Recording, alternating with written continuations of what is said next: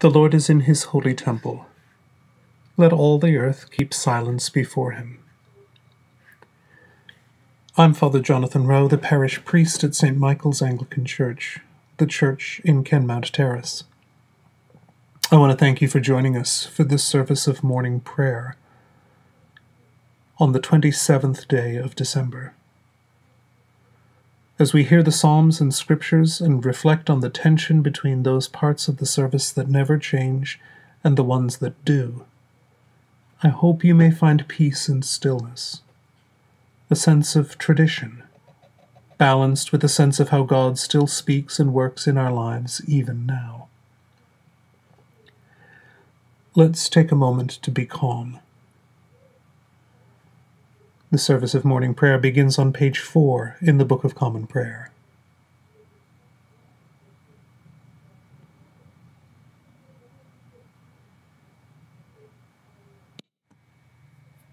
O Lord, open thou our lips, and our mouth shall show forth thy praise. O God, make speed to save us. O Lord, make haste to help us. Glory be to the Father, and to the Son, and to the Holy Ghost, as it was in the beginning, is now, and ever shall be, world without end. Amen. Praise ye the Lord. The Lord's name be praised. Unto us a child is born. O come, let us worship. O come, let us sing unto the Lord. Let us heartily rejoice in the strength of our salvation. Let us come before his presence with thanksgiving, and show ourselves glad in him with psalms.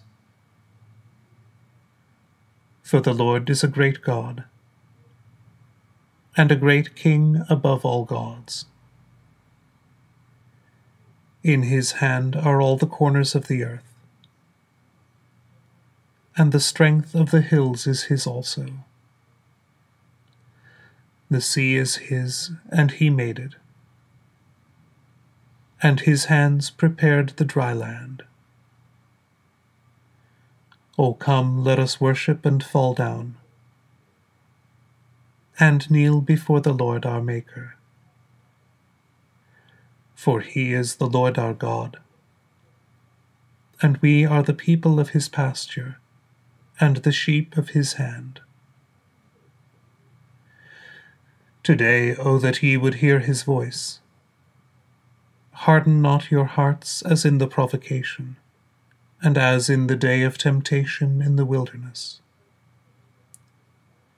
When your fathers tempted me, proved me and saw my works. Forty years long was I grieved with that generation, and said, It is a people that do err in their hearts, for they have not known my ways. Unto whom I swear in my wrath, that they should not enter into my rest.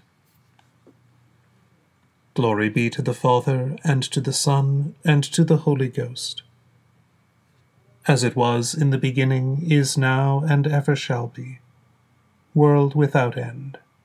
Amen. Unto us a child is born. O come, let us worship. The Psalms appointed for this morning are Psalms 97 and 98 beginning on page 454. The Lord is King, the earth may be glad thereof. Yea, the multitude of the isles may be glad thereof. Clouds and darkness are round about him. Righteousness and judgment are the foundation of his throne. There goeth the fire before him and burneth up his enemies on every side. His lightnings gave shine unto the world. The earth saw it and was afraid. The hills melted like wax at the presence of the Lord, at the presence of the Lord of the whole earth. The heavens have declared his righteousness, and all the peoples have seen his glory. Confounded be all they that worship carved images, and that delight in vain gods. Worship him, all ye gods. Zion heard of it and rejoiced, and the daughters of Judah were glad, because of thy judgments, O Lord. For thou, Lord, art the most high over all the earth. Thou art exalted far above all gods. O ye that love the Lord, see that ye hate the thing which is evil. The Lord preserveth the souls of his saints. He shall deliver them from the hand of the ungodly. There is sprung up a light for the righteous, and joyful gladness for such as are true hearted. Rejoice in the Lord, ye righteous and give thanks unto his holy name. O sing unto the Lord a new song, for he hath done marvellous things. With his own right hand and with his holy arm hath he gotten himself the victory. The Lord hath declared his salvation his righteousness hath he openly shown in the sight of the nations. He hath remembered his mercy and his faithfulness toward the house of Israel. And all the ends of the world have seen the salvation of our God. Show yourselves joyful unto the Lord, all ye lands. Sing, rejoice, and give thanks. Praise the Lord upon the harp. Sing to the harp with a psalm of thanksgiving. With trumpets also and the sound of the horn. O show yourselves joyful before the Lord the King. Let the sea make a noise and all that is therein, the round world and they that dwell therein. Let the floods clap their hands, and let the hills be joyful together before the Lord. For he is come to judge the earth. With righteousness shall he judge the world, and the peoples with equity. Glory be to the Father, and to the Son, and to the Holy Ghost, as it was in the beginning, is now, and ever shall be world without end. Amen. The first lesson is written in the book of Proverbs, the eighth chapter beginning at the twenty second verse. The Lord created me at the beginning of his work, the first of his acts of old. Ages ago I was set up, at the first, before the beginning of the earth. When there were no depths, I was brought forth. When there were no springs abounding with water. Before the mountains had been shaped, before the hills, I was brought forth. Before he had made the earth with its fields, or the first of the dust of the world. When he established the heavens, I was there. When he drew a circle on the face of the deep, when he made firm the skies above, when he established the fountains of the deep, when he assigned to the sea its limit, so that the waters might not transgress his command. When he marked out the foundations of the earth, then I was beside him, like a master workman, and I was daily his delight, rejoicing before him always. Here endeth the first lesson. We praise thee, O God. We acknowledge thee to be the Lord. All the earth doth worship thee, the Father everlasting. To thee all angels cry aloud, the heavens and all the powers therein. To thee cherubim and seraphim continually do cry, Holy, holy, holy, Lord God of hosts. Heaven and earth are full of the majesty of thy glory. The glorious company of the apostles praise thee. The goodly fellowship of the prophets praise thee. The noble army of martyrs praise thee. The holy church throughout all the world doth acknowledge thee. The Father of an infinite majesty, thine honourable, true, and only Son also the Holy Ghost, the Comforter. Thou art the King of glory, O Christ. Thou art the everlasting Son of the Father. When thou tookest upon thee to deliver man, thou didst not abhor the Virgin's womb. When thou hadst overcome the sharpness of death, thou didst open the kingdom of heaven to all believers. Thou sittest at the right hand of God in the glory of the Father. We believe that thou shalt come to be our judge. We therefore pray thee, help thy servants, whom thou hast redeemed with thy precious blood. Make them to be numbered with thy saints, in glory everlasting. O Lord, save thy people, and bless thine heritage. Govern them and lift them up forever. Day by day we magnify thee, and we worship thy name, ever world without end. Vouchsafe, O Lord, to keep us this day without sin. O Lord, have mercy upon us. Have mercy upon us. O Lord, let thy mercy lighten upon us, as our trust is in thee. O Lord, in thee have I trusted. Let me never be confounded. The second lesson is written in the Gospel according to St. John, the thirteenth chapter, beginning at the twentieth verse. Jesus said, Truly, truly, I say to you, he who receives any one whom I send receives me, and he who receives me receives him who sent me. When he had thus spoken, he was troubled in spirit, and testified, Truly, truly, I say to you, one of you will betray me. The disciples looked at one another, uncertain of whom he spoke.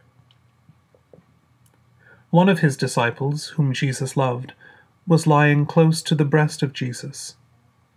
So Simon Peter beckoned to him and said, Tell us who it is of whom he speaks.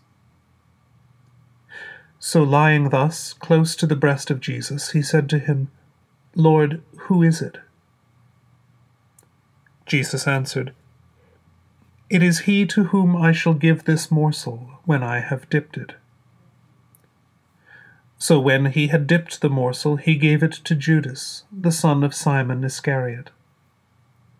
Then, after the morsel, Satan entered into him.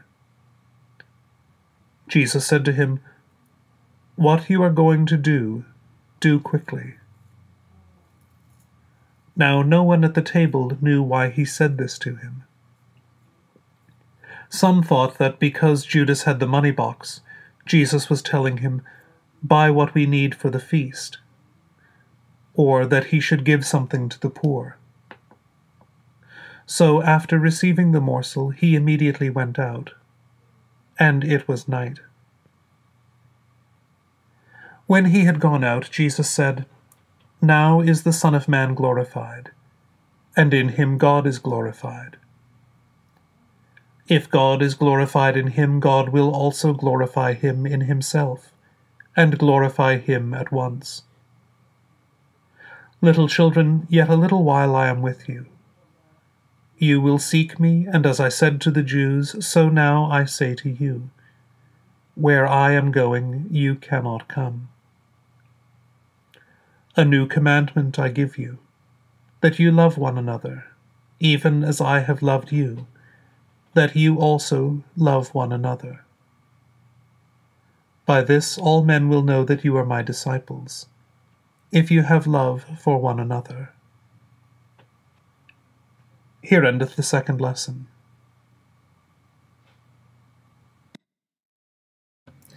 Blessed be the Lord God of Israel, for he hath visited and redeemed his people, and hath raised up a mighty salvation for us in the house of his servant David, as he spake by the mouth of his holy prophets, which have been since the world began, that we should be saved from our enemies, and from the hands of all that hate us to perform the mercy promised to our forefathers, and to remember his holy covenant, to perform the oath which he sware to our forefather Abraham, that he would grant us, that we, being delivered out of the hands of our enemies, might serve him without fear, in holiness and righteousness before him, all the days of our life.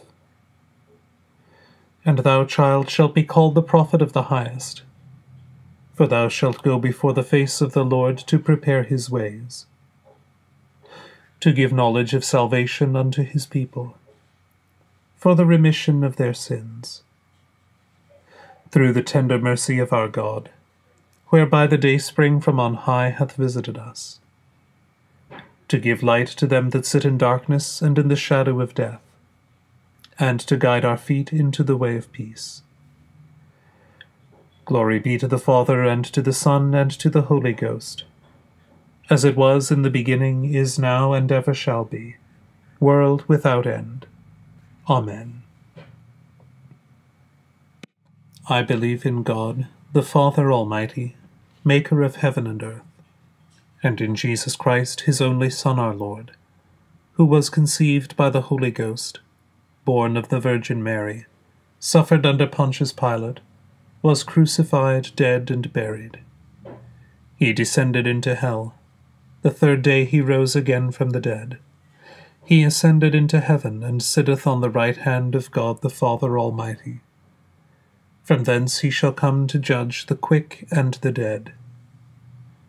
I believe in the Holy Ghost, the holy Catholic Church, the communion of saints, the forgiveness of sins, the resurrection of the body, and the life everlasting. Amen. The Lord be with you, and with thy spirit. Let us pray. Lord, have mercy upon us. Christ, have mercy upon us. Lord, have mercy upon us. Our Father, who art in heaven, hallowed be thy name. Thy kingdom come, thy will be done on earth as it is in heaven. Give us this day our daily bread, and forgive us our trespasses, as we forgive them that trespass against us. And lead us not into temptation, but deliver us from evil. Amen. O Lord, show thy mercy upon us, and grant us thy salvation. O Lord, save the Queen, and mercifully hear us when we call upon thee. Endue thy ministers with righteousness, and make thy chosen people joyful. O Lord, save thy people, and bless thine inheritance. Give peace in our time, O Lord, and evermore mightily defend us. O God, make clean our hearts within us and take not thy Holy Spirit from us. Merciful Lord, we beseech thee to cast thy bright beams of light upon thy church, that it being enlightened by the doctrine of thy blessed apostle and evangelist St. John, may so walk in the light of thy truth, that it may at length attain to the light of everlasting life. Through Jesus Christ our Lord. Amen. Almighty God, who hast given us thy only begotten Son, to take our nature upon him, and as at this time to be born of a pure virgin, grant that we, being regenerate and made thy children by adoption and grace, may daily be renewed by thy Holy Spirit. Through the same our Lord Jesus Christ, who liveth and reigneth with thee and the same Spirit, ever one God, world without end. Amen. O God, who art the author of peace and lover of concord, in knowledge of whom standeth our eternal life, whose service is perfect freedom. Defend us, thy humble servants, in all assaults of our enemies, that we, surely trusting in thy defence, may not fear the power of any adversaries. Through the might of Jesus Christ our Lord. Amen. O Lord, our heavenly Father, almighty and everlasting God, who hast safely brought us to the beginning of this day, Defend us in the same with thy mighty power. And grant that this day we fall into no sin, neither run into any kind of danger, but that all our doings may be ordered by thy governance, to do always that is righteous in thy sight. Through Jesus Christ our Lord. Amen. Lord Jesus Christ, who didst stretch out thine arms of love on the hard wood of the cross, that everyone might come within the reach of thy saving embrace. So clothe us in thy Spirit, that we, reaching forth our hands in love, may bring those who do not know thee to the knowledge and love of thee, for the honor of thy name. Amen. I invite your prayers at this time for all those who are particularly in need of our prayer. Those who have asked us to pray for them, and those whom the Spirit of God has put into our hearts to pray for.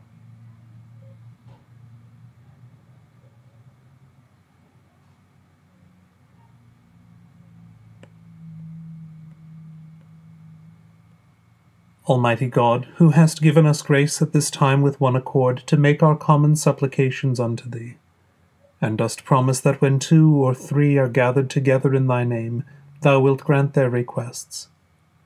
Fulfill now, O Lord, the desires and petitions of thy servants, as may be most expedient for them, granting us in this world knowledge of thy truth, and in the world to come life everlasting.